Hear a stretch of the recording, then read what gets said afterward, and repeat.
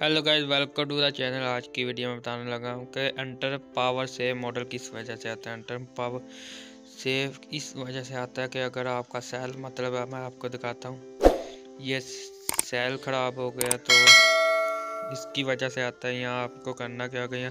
RAM को आपने निकाल कर अच्छी तरीके से ये आपको गोल्डन कलर की ये देख, लकीरें नज़र आ रही है।